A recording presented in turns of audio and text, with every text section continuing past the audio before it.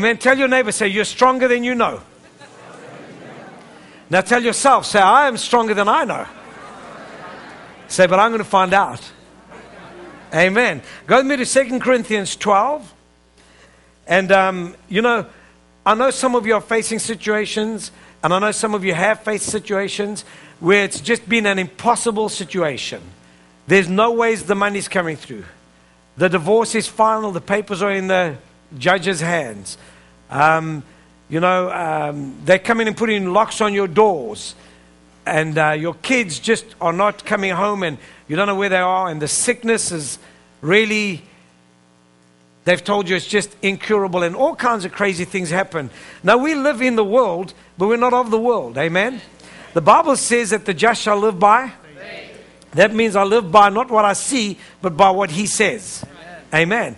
And being in this world, living in a natural world, it's very difficult sometimes to differentiate and to live in faith when you see things happening around you. But you have to disassociate with what's happening around you and then associate with what God has said about the word. Can you say amen? Amen. All right. Second Corinthians 12, verse 8. It says, concerning this thing, and this is Paul talking about a thorn he had in his flesh where Satan had been sent to buffet him. And it says, I pleaded with the Lord three times that it might depart from me. So he said, God help me, God help me, God help me. Have any of you ever been in that place?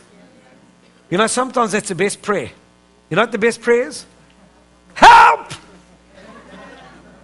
Because it's saying with a real heart. You understand what I'm saying? Desperation. And you cry out for help, God hears that kind of a prayer. But when you sit there and thus serve the Lord, I cometh to thee this day it fathereth. And I asketh that you would meeteth my needeth. You're praying with yourself with. Amen. Don't put on, pray who you are. Pray who you are. Don't be one place, one person, you know, in front of people, then another person at home. Pray who you are. And if you feel this is my prayer for the day, help! Pray it. God will answer that prayer before He'll answer any other prayer. That's not with a pure heart. Can you say amen? All right. So He says, yeah, help me, help me, help me. So he asked God three times. This was obviously a problem in his life. And look what God says to him. And God said to me, My grace is sufficient for you. I mean, think about that. Help, help, help. My grace is sufficient for you. So, in other words, what God is saying here, He's saying that my grace has got enough power to overcome the problem that you're facing. Amen. Is that not what He's saying? Because if He's asking for help and He says, Oh, just walketh in love, He didn't say that. He said, My grace is sufficient for the problem that's in your life. So, straight away, you've got to recognize that God's grace is sufficient for any problem that you might be facing in your life. Any problem. Can you say amen? It could be no job, it could be no, whatever. His grace is sufficient to back away and push away this mountain and this giant that sometimes comes into our lives. Can you say amen? amen? Now, watch what he says. He doesn't finish there. He says, For my strength is made perfect in weakness. My strength is made perfect in weakness. So if you think you're a big deal, you're going to stay weak. If you think you've got it going on, you're going to stay weak. Because his strength is made perfect, perfect in your weakness. When you recognize and realize that you are nothing without him, then he becomes strong within you. Amen. He says, My strength is made perfect in your weakness. That's why when you scream, Help, that's a weakness you're coming from. But you call into the right person, boom, he helps you. His strength is made perfect in your weakness. Amen. Your weakness of self. Now, this is going to get good, so just hang on to your seatbelts, amen. But let me tell you this now. Those that are proud and arrogant and strong in their own eyes will not experience God's strength because they're proud. And a proud person, a proud person will never admit to being weak in any area. And so if you can't be weak in an area, then you can't be strong in that area. Ching, ching, ching. Did you get it? Let the pennies fall. Ching, ching, ching. Because if you think that you got a good and you got it going on and you do the big deal, then you're strong in that area, then you can't be helped in that area. Because you're not weak in that area. Amen. I want us to get into your spirits. I want you to click onto God. Amen. And so it's like an alcoholic or a drug addict. You see, until a drug addict or an alcoholic admits that they're a drug addict, addict or an alcoholic, there's no help for them. Now, listen, he could admit this thing as a manipulator. I've seen people manipulate. Oh, yes, I've got a problem. Will you help me? I've seen it, I've heard it, I've been there. Amen. It's a manipulator, and a manipulator will do anything to convince you that he's right. That is a proud person.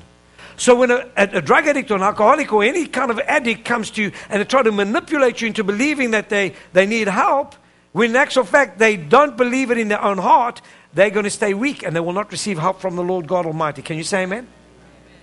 Are you with me? Because until he says, Well, I'm weak, I can't do it, there's no help available for him. Amen? Like a person with unforgiveness or a person that's taken an offense towards somebody else. You've got to let that go. You've got to be weak in yourself. You see, a person in unforgiveness or a perf- person that has taken an offense is a person that's walking in pride because Proverbs 13:10 says only by pride comes contention. Well, what did you say to me? I'm going to hold unforgiveness towards you. What did you say about me? I've got an offense towards you right now. You're being strong in your own self.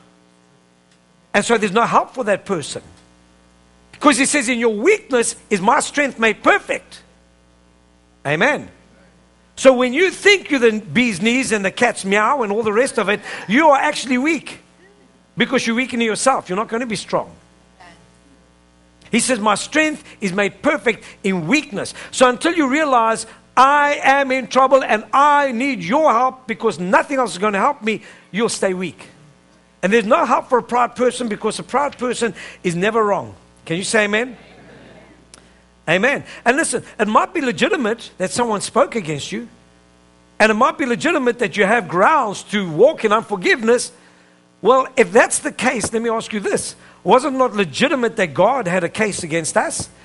But He walked in forgiveness towards us, didn't He?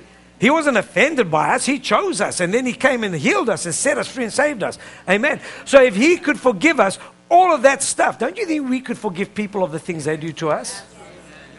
Amen. Well, you don't know what they owe me. You know, next to what you owe God, it's nothing. Amen. And so, if you're in pride, there's no help for you. Tell your neighbor, say, if you're in pride, there's no help for you. Because a proud person will never admit to a weakness. How many of you know proud people?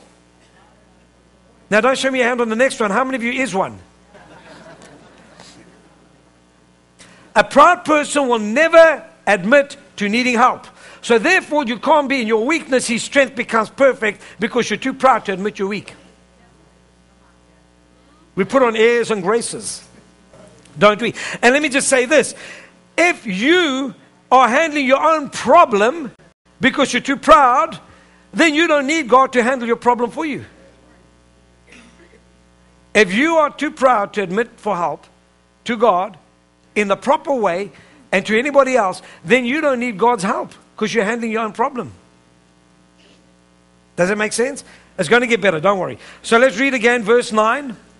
It says, And he, God, said to me, My grace is sufficient for you, for my strength is made perfect in weakness. Therefore, most gladly, I will rather boast in my infirmities that the power of Christ may rest upon me. So here Paul gets a revelation. He says, Woohoo! Therefore, I will boast in my weaknesses because when I admit to what I'm not, then he becomes what I am. Do you see that? Paul, the great man who got all the revelation and all the knowledge on, on, on faith and all the stuff that he got on, he says, Therefore, I will rather boast in my weaknesses than in my strengths.